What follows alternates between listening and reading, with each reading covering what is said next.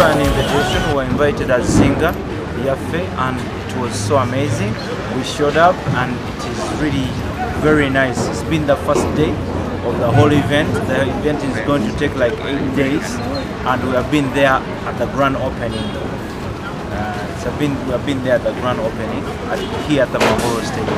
In Kigali, I don't know this place exactly, but uh, uh, it's here in Kigali.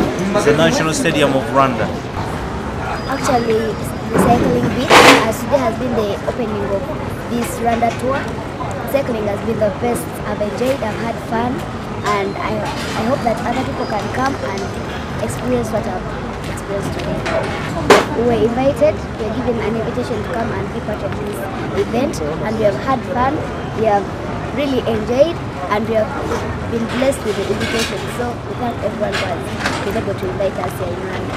Ugandan people, we, we just want to thank them for the support they have given to us, for watching our videos, for liking our Facebook page, for everything, and to invite them to also be part of this Rwanda tour and to be able to experience the fun that we have had today. There are different activities that are going to take place. It's going to last for eight days, but for us, we have been able to to be able to attend the cycling bit.